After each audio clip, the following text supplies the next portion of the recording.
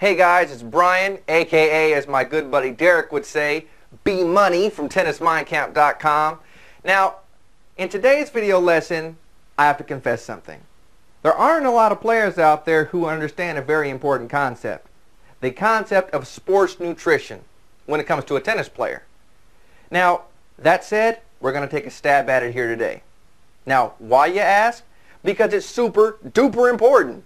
I mean, if you don't have the right insides, I can 110% guarantee you that your outsides will be miserable as well.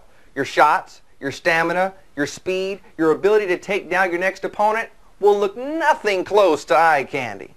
So, that said, in today's video lesson, we're going to focus on beets. Okay, we're going to show you how beets can help you beat your next opponent, or at the very least outlast them. All right, so you ready? If you are, just like Pitbull would say, dale, let's go. Yeah. Tennis nutrition, tennis mind camp style. Beat your next opponent 101. Now, it's funny how players talk about their mental game and superior skill set as reasons for winning big, but few, if any, players talk about food, diet, and sports nutrition as possible contributors. And that leaves a huge sour taste in my mouth. Because boy or girl are they important.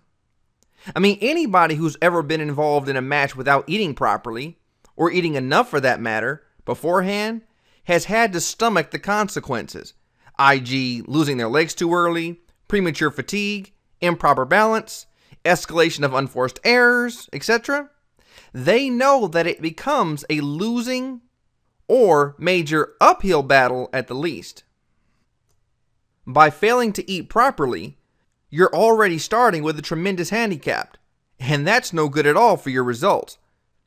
I mean, practicing on an empty stomach, much less competing on one, can be horrible for your sports nutrition and your chance at emerging victorious. And regularly shortchanging yourself in vital nutrients, ingredients, vitamins, and minerals is, if you'll pardon the pun for a second, a recipe for disaster.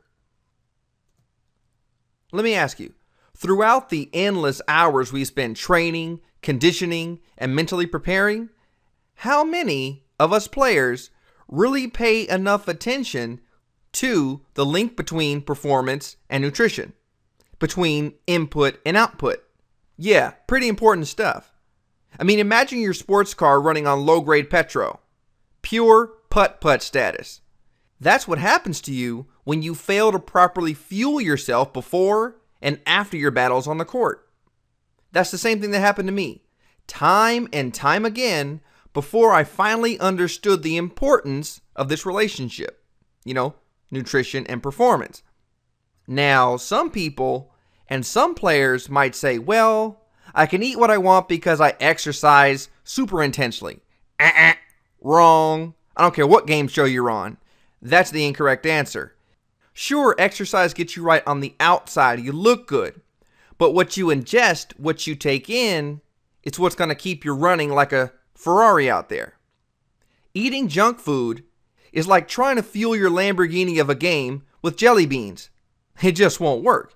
You're not going to have the boost, the burst, nor the energy that you need to be successful in the match or play at that high level that you so desire. Now, don't misunderstand me.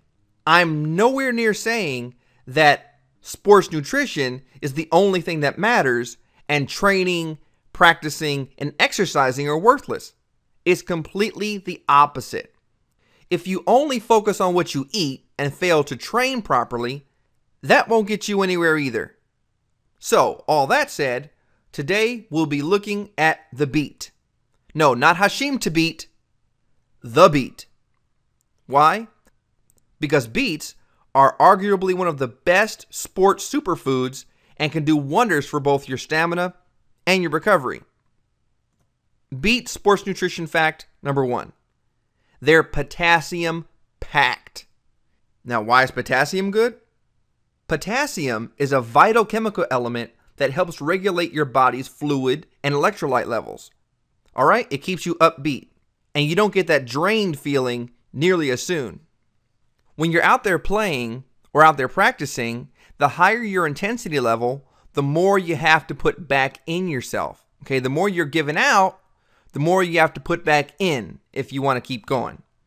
For example, when you're out there on the tennis court, sweating harder than LeBron James and Paul George in a game seven, you need a higher amount of potassium in order to maintain that high level performance.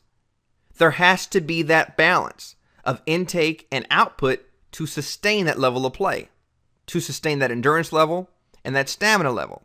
Otherwise, you'll probably end up with some severe cramps and retire. Ouch. And that's why these beets are so great. With a whopping 500 milligrams of potassium in each beet, you'd be hard pressed to find a more richly concentrated and more delicious source of this stuff. Beet nutrition fact number two it decreases your inflammation.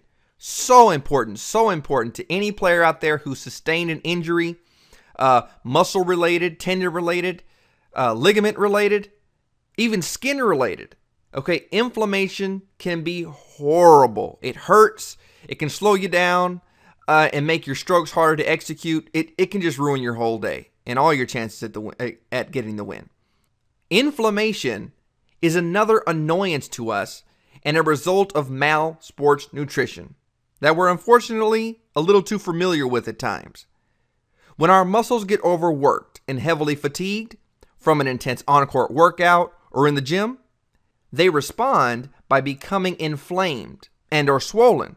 And if we keep up that stress without feeding them the proper foods and supplying them with the right fuel source, our muscles might go on strike on us, refusing to work for us, holding up picket signs on us that say 2468 sports nutrition just can't wait. Oh, and the worst part is the results of inflammation don't end with mere discomfort it can lead to something as serious as heart disease, something no athlete ever wants on his or her plate. All right, so think about your sports nutrition. It's pretty important.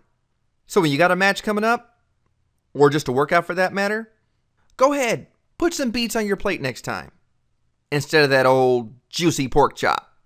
It'll make a difference. Betaine is a beautiful thing sports nutrition, chemically speaking. Now we're going to get a little bit more scientific, dig a little deeper. Okay, what's really going on inside these beets? Okay, besides the potassium, besides it helping our inflammation, what's really happening on a biochemical level? Well, it's betaine is one of the things that really makes the magic happen for us.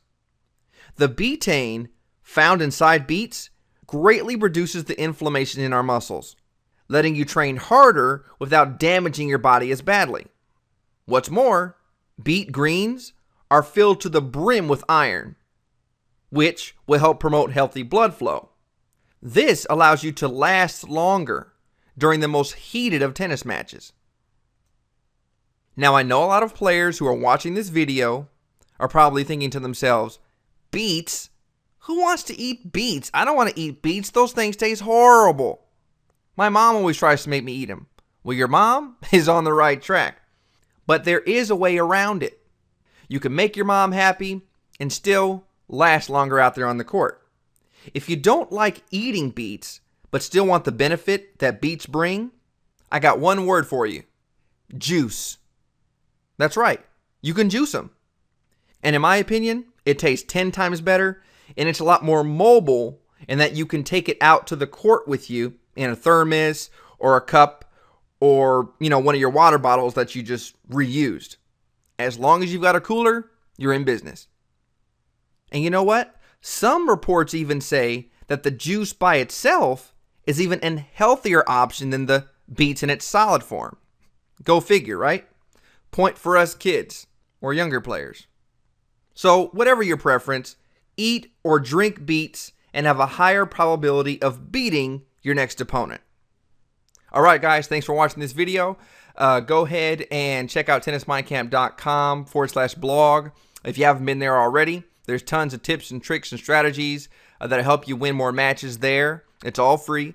And uh, go ahead and check out. There's a course that we have that totals 19 hours in length of kick butt opponent crushing tennis tips and strategies that are really going to help you be a successful player uh, on the court as well. So check those two links out, and I'll look forward to seeing you in the next video.